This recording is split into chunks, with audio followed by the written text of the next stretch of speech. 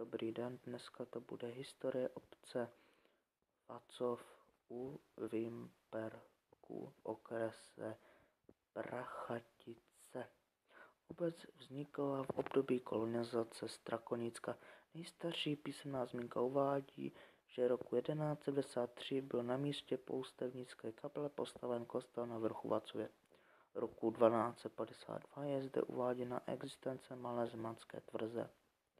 V roce 1307 byl do Vacovského kostela za faráře dosazen Jindřich z Ohrazec a je uváděna první zmínka o donátorech zdejšího kostela, kde jsou jmenováni Předota z Radkovic, Lev z Bukovína, Mikuláš z Mířetic a Pelhřim z Mladíkova, z Data z Hory a Beneš z Klenovic.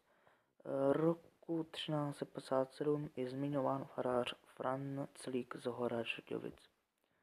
E, roku 1362 Ubislav Kadovský, roku 1375 Herman a 1354 Jakub ze Staré Boleslavy. Roku 1326 je uváděn jako jeden z patronů Vacovského kostela.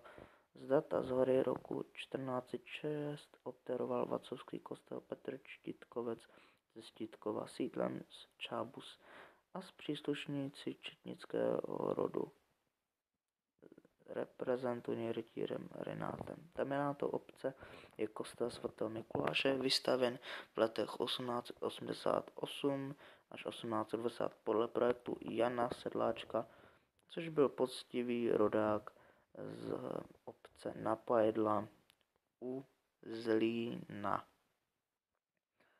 a stojí tak na místě původního kostela, ten kostel sv. Mikuláše z 19. století. Ovšem na věži se dochovaly zóny z původního kostela ze 16. století, což mě velice těší, že jsou historicky cené. Ale jestli zvoním elektrickým pohonem, tak si nepřejte.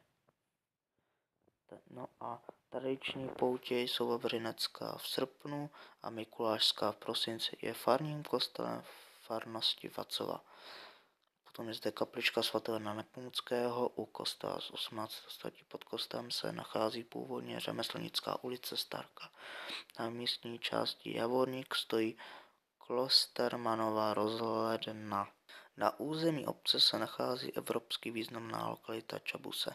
Tak to bylo pro toto video všecko, já se s vámi loučím, zatím ahoj, pěkný zbytek nepřeji všem a napište mi, jestli se tam zvoní ručně, nashledanou.